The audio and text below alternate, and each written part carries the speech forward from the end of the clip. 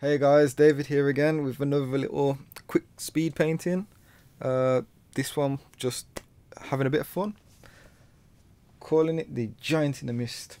It's uh, I just had about 30 minutes and there was an idea in my head that I just wanted to get out and just portray. I just wanted to show a large character in the distance. Uh, I didn't want to spend too long on it. I just wanted to get the idea out of my head. So there was hardly any sketching involved. It was just literally throwing some colours down throwing the characters in and just trying to clean it all up you will notice in the video that the uh, the layout is like a thumbnail and it's just small. It's an A3 size canvas and I think it's about 350 uh, DPI and what you'll find is that I try to keep it small just so I can just throw color, large amounts of colors on. I can just keep it simple. And if it works it works. If it don't work then it just gets thrown into a, a save folder but it's just to get ideas out there, just so whatever's in your head, it's just easy to get out. I'm not gonna go in with any detail.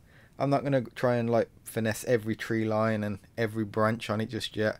It's just to throw some values on it, just get my my idea out of my head, and hopefully be a bit happier with it, and then probably take it further.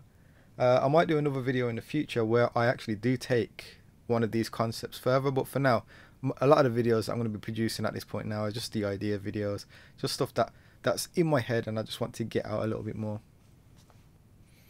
It's a bit weird trying to do a voiceover while watching your your video back and seeing some of the stuff what you would change and some of the stuff what you would add differently. Uh, watching this, I, I actually do like the way I'm working on it. Uh, I would just change a lot more of the composition, uh, change the sizing of the characters and probably go a bit more wider on, on the actual canvas. But like I said before, it's just an A2, uh, A3 canvas, and it's just there to have a bit of fun with.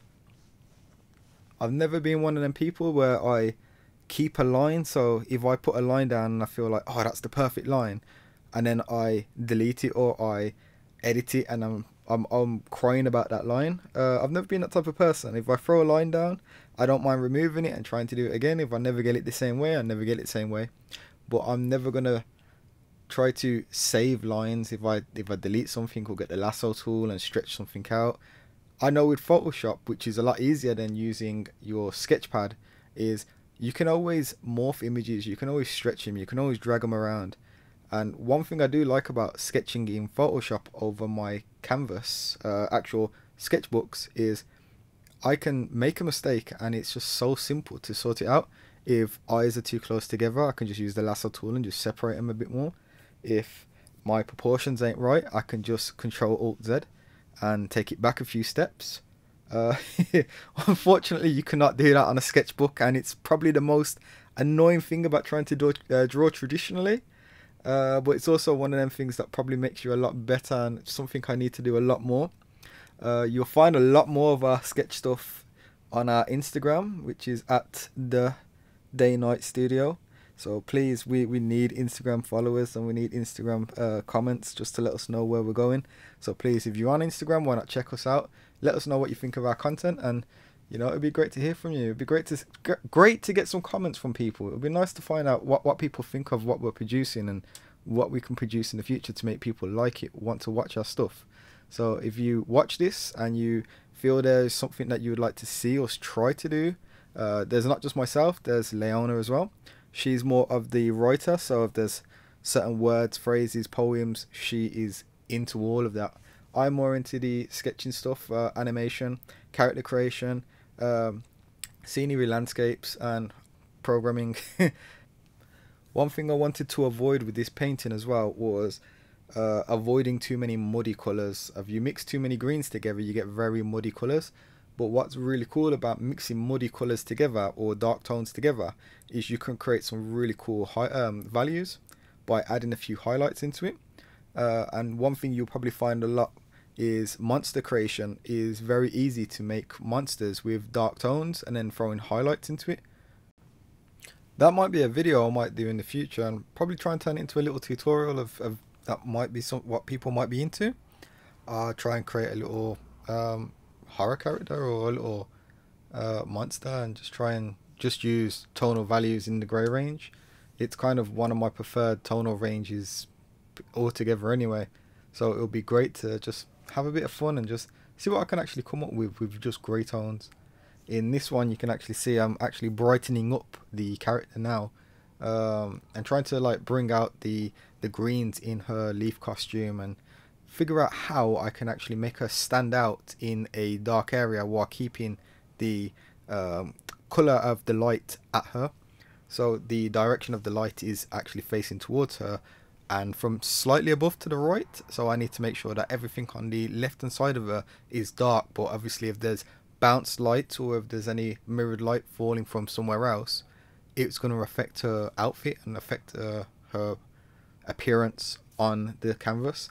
But at the same time, I don't want to go too detailed on this sketch. It's just literally 30 minutes, get out everything I can get out, show my scenery, show what I want to capture, and move on to the next image. Just move on to something different. Don't stay on the image too long.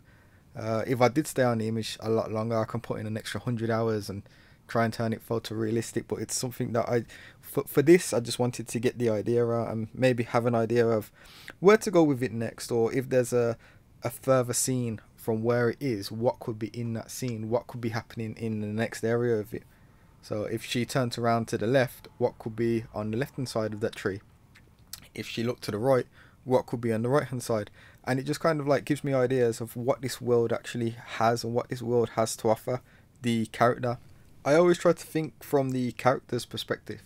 Um, what is the character doing? Why is that character there? what is the story behind that character and that allows me to kind of like tell the story of my image and it also allows people to create their own stories by just looking at my images as I was saying before I'm not afraid to get rid of lines so what you'll find in this video especially now is I chop lines that I've already had there before what I thought was okay originally.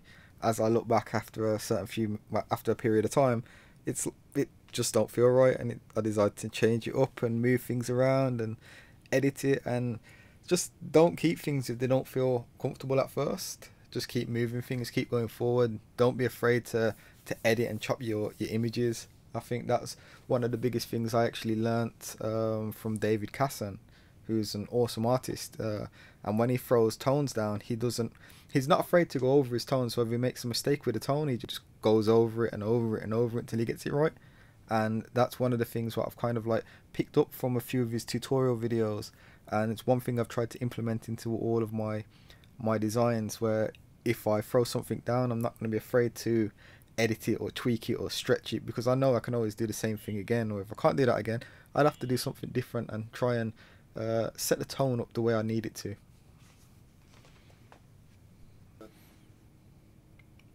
Okay, so um, I think I've been recording for about eight minutes, and it's so hard to kind of think of words while watching your own um, your own artwork being played back. And I'm kind of watching it and thinking, oh wow, if I tweak this or have I done that, if I come back to it now or if I go back over it. But then you're kind of thinking, how can I actually describe this artwork with the words what I what I'm trying to say while watching it? And it's it's a lot harder than I actually thought it would be.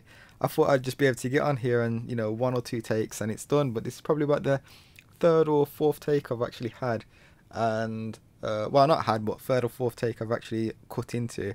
Where I'm, I'm trying to keep everything raw and I'm trying to keep everything visual and uh, just say what's on my mind and just say it as things are being uh, portrayed on screen. And it's a lot harder to actually think of words while things are uh, are being played in front. So I think I might have to uh, come to a point where I end it. So if you managed to watch it, to this point. Um, thank you, thank you so much, and I hope you liked it. And if you did, please let me know in the comments what you think.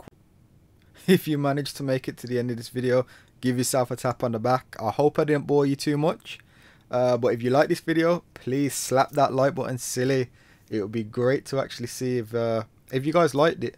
And please, why not subscribe? Tick that little bell button, and hopefully we're going to be putting out a lot more content this year. So it'd be great to uh, have people let us know and stay following us and just keeping us updated on where we can take our, our brand and where we can take our actual game. So please follow along. It'd be great to hear from you. And thanks so much for watching this video and hopefully the new one will be out soon as well.